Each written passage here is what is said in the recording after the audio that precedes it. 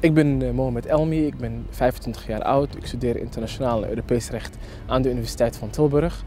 Ik doe international business law en ik ben van plan om in, om in februari een tweede master te gaan doen, namelijk international public law. Het heeft te maken natuurlijk met mijn achtergrond. Ik kom uit Somalië, er gebeurt daar heel veel, heel veel onrecht. Er is daar natuurlijk een oorlog gaande. En ik wil iets kunnen betekenen voor mijn land als ik ooit terug ga. En om rechtvaardigheid weer uh, terug te brengen in, in, Somalië. Ik ben in 1993 naar Nederland, naar Nederland gekomen samen met mijn moeder en mijn broertje.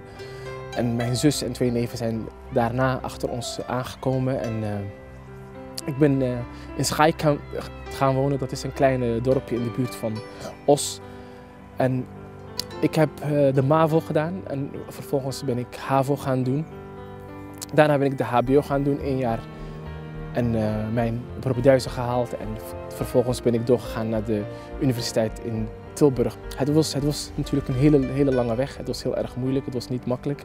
Maar ik ben gewoon blijven doorgaan. En mijn uh, moeder heeft me wel blijven pushen, zeg maar. Zonder, zonder dat zij dat heeft gedaan, zou ik het niet zo ver uh, hebben kunnen halen. Natuurlijk zijn er heel veel leraren geweest die niet, niet altijd evenveel in je geloven.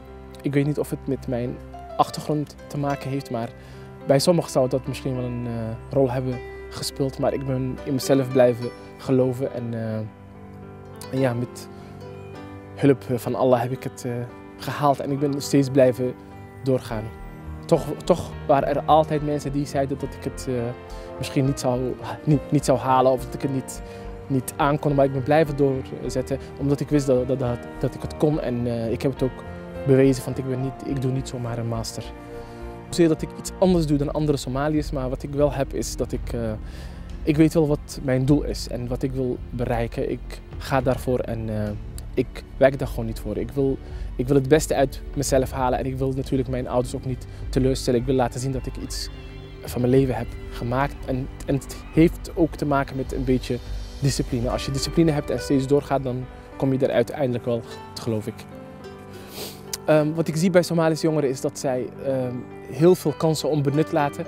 Er zijn heel veel mogelijkheden die zij in Nederland kunnen aangrijpen. Ze kunnen, ze kunnen hun eigen doelstellingen uitzetten en ervoor gaan, maar dat doen ze niet. En ik weet niet precies waar het aan ligt. Misschien ligt het aan de achtergrond of aan de ouders of het feit dat ze zich uh, soms wat, wat minder voelen dan de autochtone medescholier of uh, vriend. Maar ik heb alle vertrouwen dat zij het ook kunnen. Maar ze hebben wel mensen nodig die ze daarbij helpen. En ik zie daar een rol voor weggelegd voor de Somalische jongeren die wel uh, zover hebben geschopt, die op de HBO zitten, die universiteit doen. Ik zie ook een rol weggelegd voor de lokale overheden en uh, Somalische moeders en vaders. Maar het moet echt een groep uh, effort zijn, anders, anders gebeurt er niks.